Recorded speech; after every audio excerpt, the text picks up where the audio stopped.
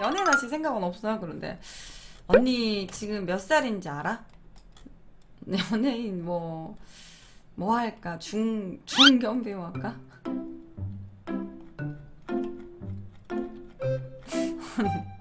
아니 뭐 할까? 어 그건 좀 아닌 것 같네. 응.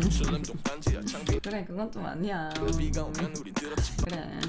흰옷이 진짜 잘 어울리네요. 그래. 오늘 근데 이렇게 치마 입었어 이렇게. 왜냐면 원래 역캠 옷이 진짜 많은데 그냥 기분이 뭔가 또 그니까 뭐 다들 오늘 뭐 먹었어? 맛있는 거 먹었어요 여러분들? 나 오늘 뭐 먹었는지 모르겠네. 새벽에 라면을 먹고 안 먹었던 것 같은데. 네. 언니 허리 몇 센치에 왜 이렇게 얇아요 그런데? 허리 그냥 24? 아 피자 먹었어? 간장 불고기. 와 맛있었겠네. 불짬뽕 아 제가 원래 매운 걸 엄청 잘 먹거든.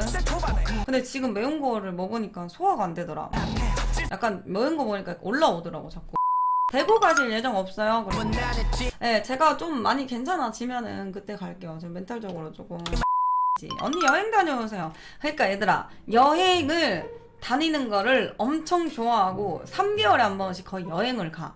근데 머리가 복잡한데 여행을 간다고 절대 안 풀려 얘들아. 왜 삶을 나만 그런가? 여행을 가가지고 다 있고 어, 세상과 속세와 인터넷이 되는 곳을 다 절단하고 가가지고 물놀이를 하고 뭐 이렇게 뭐 밥을 먹고 막 어, 그때는 잊을 수 있는데 더 생각나 씨발. 어, 거기 뭐 말도 안 통하는데 맞잖아.